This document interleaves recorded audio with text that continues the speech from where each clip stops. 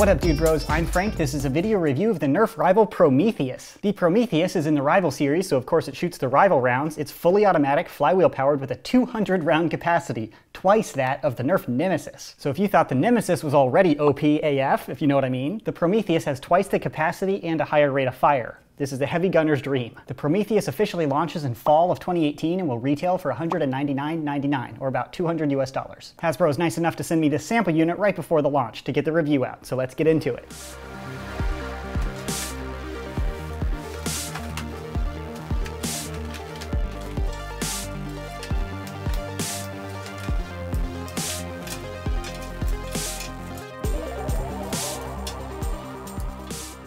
Included is the blaster, a rechargeable battery, 200 rival rounds, the blaster feet, blue and red team indicator flags, the shoulder strap, charger, detachable handle, and the instructions. The feet snap into place very simply, these are not designed to be removable. The carry handle is just as easy to snap in, but it's designed to be removed, so if you want to switch to the other side for a right or left-handed shooter. The rechargeable battery is included with the Prometheus. To charge, you plug in the charger and stick it in the wall outlet. Once charged, you can slide it into the blaster and secure it with a single Phillips screw, and you're ready to pew pew. So let's go over the external features of the Prometheus, starting up with the front. As with all rival blasters, this does not have an N-Strike attachment point for barrel extensions or anything. Up front, you have two sling attachment points, one on each side. This shoulder strap or sling is included with the blaster. They have nice little carabiner clips on the sides so you can attach those pretty easily. Above the rails is the front carry handle. The Prometheus doesn't have traditional ergonomics. You're not supposed to shoulder it like a normal blaster. You're supposed to hold it lower and pretty much shoot from the hip all the time. So the front handle is almost essential for that firing position. The actual handle component here spins freely on this little handle rig. So when you go to change your elevation, it spins freely and that's just comfortable. The button right in front of the handle, when pressed, allows you to pull out the carry handle. This is supposed to be removable. So if you want to switch it to the other side, you can.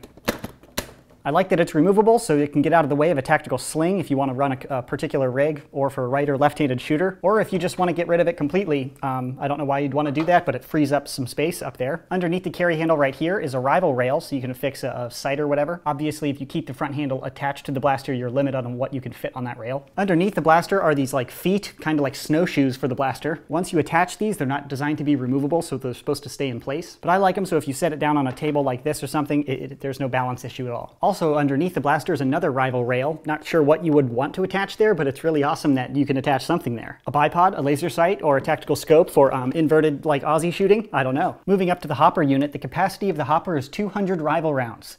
200 rounds, that's Oh my gosh, that's so many balls. The Nemesis hopper held 100, and that was a ton of rounds. This is twice that. Balls upon balls upon balls. To load the hopper, you can pull back on the door right here, which opens it up. Then you can just drop balls in. It's super fast to reload. It's also worth noting the hopper door here is a little bit larger than the Nemesis hopper. So I've been able to speed reload this a little bit faster than the Nemesis without dropping as many balls because of the wider opening. And when you're loaded up, you can shut that hopper door like that. There's a little lock here, just like on the Nemesis, so if you don't shut the hopper all the way, the blaster might not turn on, meaning you can't fire in the open position. The hopper door has to be closed. I haven't experienced any jams or malfunctions firing the Prometheus through my testing procedure, but if you do experience a jam, you can pull up on this rail here and then lift the hopper out of its place, which exposes the flywheel unit and the feeding conveyor belt. This is essentially the access door. You pull off the hopper and you can have the same access to the, the firing mechanism. So if your balls got squished up in there and you so if your balls got squished up in there and you have to clear the jam, that's how you do it. You can pull out the balls and return the hopper to its place, close the door, and you're ready to go. Moving on, in the side of the blaster right here, there's a little orange button. It's real small. It's a reset button, just in case the electronic systems uh, fail. Or there's another error and something's not working with the blaster, you can reset the electronics with this button. You get a paper clip and you poke it, and it resets. Moving back to the main handle, now like I mentioned, the ergonomics of the Prometheus are a little irregular. It's not designed to shoulder it like a normal rifle or a normal Nerf blaster. You're supposed to hold it from the hip, kind of, which explains the weird angle of the grip. Up here you have three user controls. This bottom trigger is the rev switch, which of course allows you to rev the blaster. The top switch, activated with the thumb, allows you to fire the blaster if it's revving. And the side switch, which is mirrored on the other side as well, is the safety. In the safe position, you're not able to rev or pull the trigger. When you deactivate the safety, you're able to rev. In the front of the group, you have an indicator light. Right now it's green solid, which means all systems fine, you're ready to fire. Flashing red means your battery is getting low and you need to pull that out to recharge it. And solid red means the battery has no charge and you definitely need to recharge it. But I beg the question, question, how do you have the energy to show solid red if the battery has no charge? It obviously has a little charge, unless there's a backup battery in here just to turn on the red light, which would be kind of funny. Joking aside, I think it's really convenient to have that indicator light to show you the status of your battery. But just like with the Infinus, I was a little concerned with the current draw of this little light. If you're just a casual nerfer and you charge up the blaster, you play a little bit, then you set it down,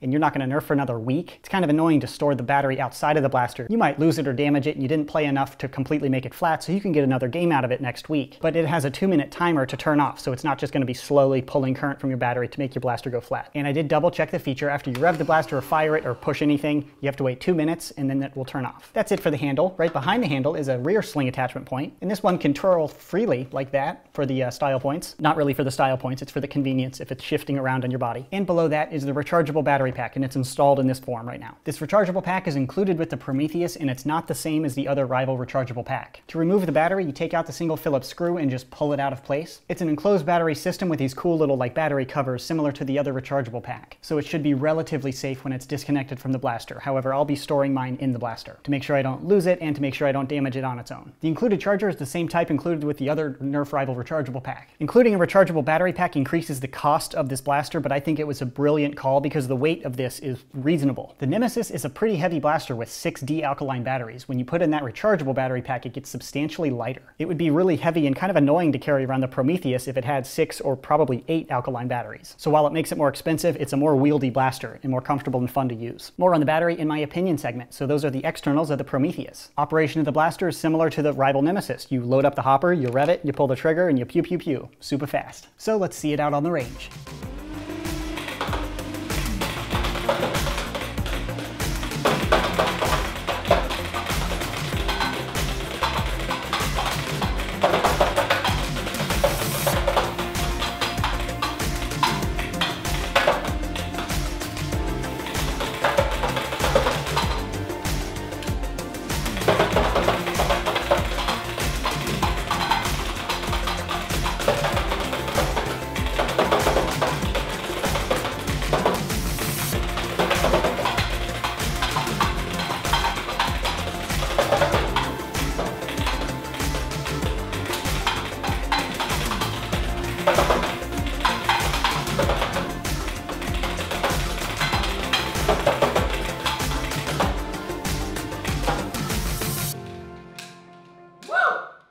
It's so much fun. Not a full hopper, just gonna go back and forth without pulling off the trigger like I'm trying to mow down like a forest.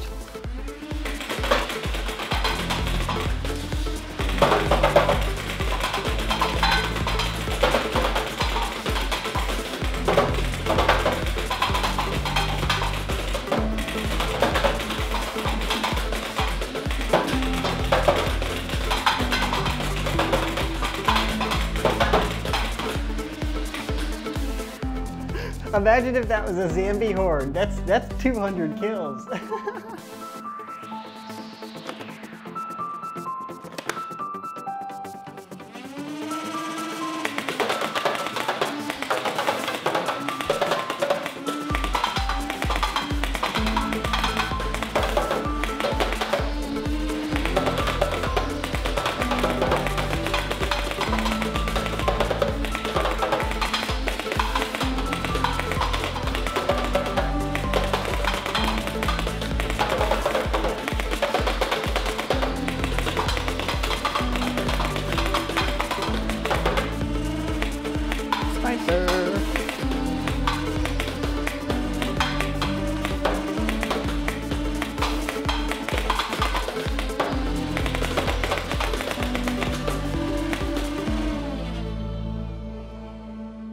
As you can no doubt tell, shooting the Prometheus is a blast. I mean, it is so much fun. The Nemesis was super fun when it came out, and I really didn't think it'd be that much more fun than the Nemesis because the Nemesis is already overpowered. But the slightly faster rate of fire and twice the capacity, shooting the Prometheus is so much fun. It's just ridiculous. It honestly feels like you're using a modified Nerf blaster with the hopped up rate of fire. It's just, I mean, I feel like if there was a forest in front of me, I feel like I could just sway back and forth with lanes of foam to just knock down all of the brush. Obviously, the little foam balls might bounce off of trees, but in my imagination, I'm just knocking stuff down, just making lanes. My imagination is far more entertaining than reality. I'm not crazy though, maybe a little. Sanity is overrated.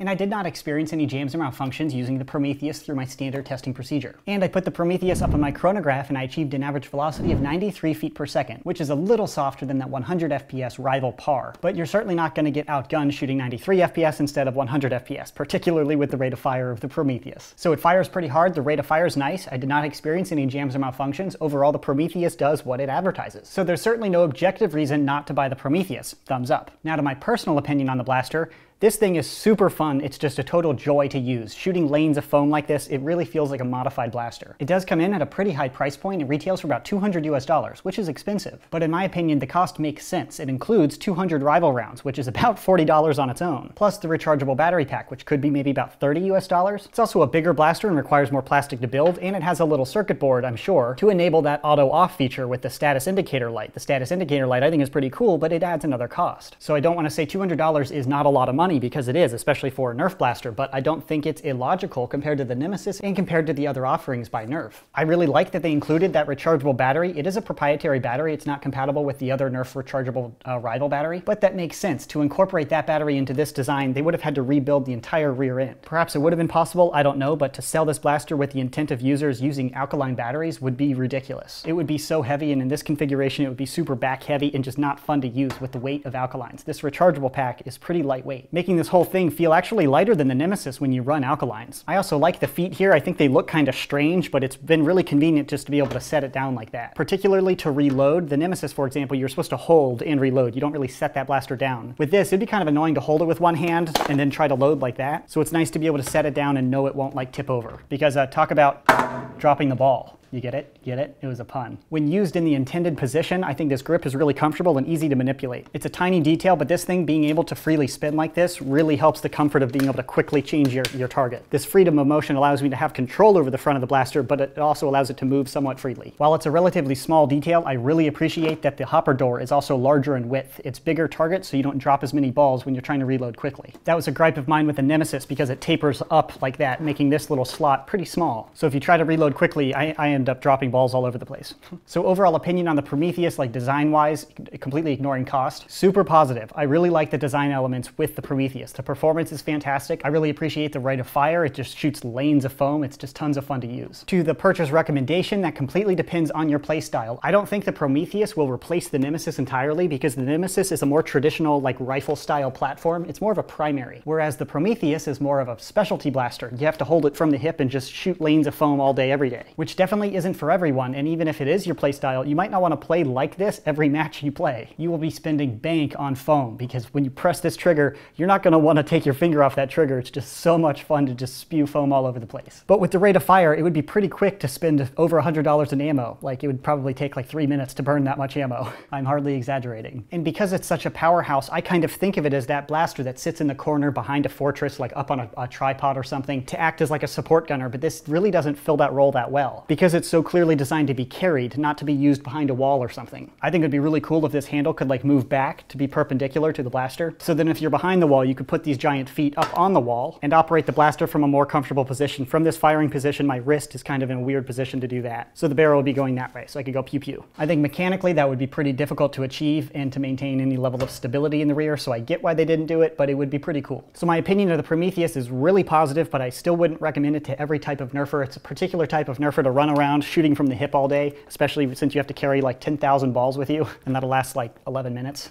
So, to buy or not to buy? That is the question. If it fits your playstyle, definitely. Your squad members will totally appreciate it. The rate of fire and firing capacity of this thing is just insane. For those that wield it, it'll be totally overpowered. It won't fit everybody because it's expensive to run with that many like balls. And once you feel the power of a stream of foam flying out like with this rate of fire, you're honestly not going to want to take your finger off the trigger. Why shoot semi-auto when you can just burst fire groups of 10? Then you're guaranteed to hit, but then you, you know, dump your capacity pretty quick. And I also have to compliment the design of the blaster. It is big big and it's not for smaller nerfers. But the design doesn't really waste much space. It's only as big as it really needs to be. Propulsion mechanism, feeding mechanism, massive capacity, battery, like the power source for the rest of the thing. The fancy muzzle's probably not necessary. This little butt end might not be, but that's like very little space compared to everything else that's raw function. So it's big, silly, and intimidating, but it's also bare bones in a way, which speaks to how much power is just like trapped in this massive body.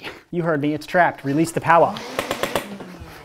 Objectively, the blaster does a really great job at what it's supposed to do, so the buy or not to buy is completely up to you and your value of $200. But I can assure you, if you field this blaster, your friends will love you, your enemies will hate you, and your wallet might as well. But that's completely your call. So hopefully I provided all the information you need to know whether or not you want to purchase the Prometheus. Hasbro was nice enough to send me this sample unit right before its launch. When it becomes available, I'll be sure to put a purchase link in the description box below. That concludes this video review. Thanks so much for watching, bros, and as always, stay tactical. I'm gonna go slay some zombies.